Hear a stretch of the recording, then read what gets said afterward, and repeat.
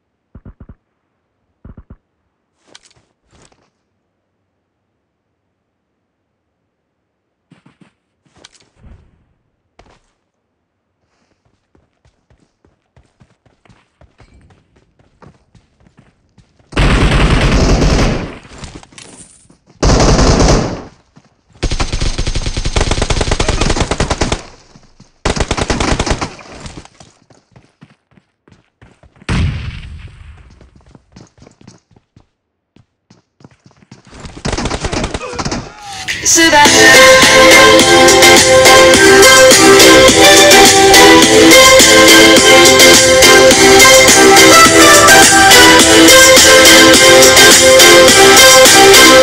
I.